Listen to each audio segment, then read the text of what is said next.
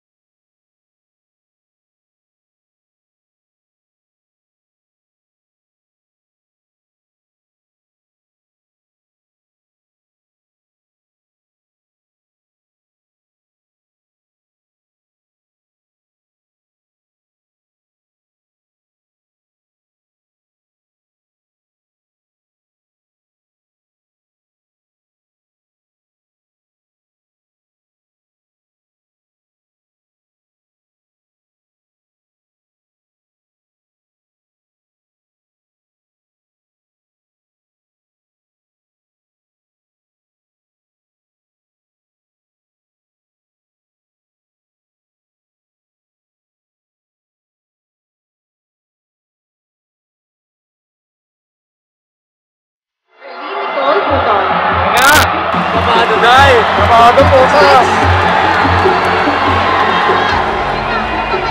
You pick Mr. Cecilio Asuncion. Hello po.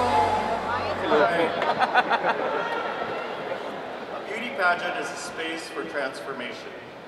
What has been your biggest character transformation since you joined, and how could this make you deserving of the crown tonight? Isang...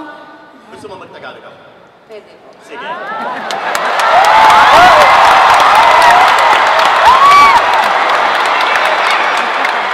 Magtagalog ka. Ang beauty pageant ay isang lugar para sa transformasyon. Anong transformasyon na importante ang nangyari sa iyo habang nandito Breaking ka sa. Pilipinas? Maraming salamat po. Para sa akin, isang karangalan na nakatungtong ako dito sa Binibining Pilipinas bilang isang binibining hindi inaasahan. Para sa akin, ang sarap palang mangarap. Ang sarap mangarap. Walang imposible. Isa po akong komedyante na laki sa hirap. At ang aking transformasyon ay ang magbigay ng inspirasyon. Because I know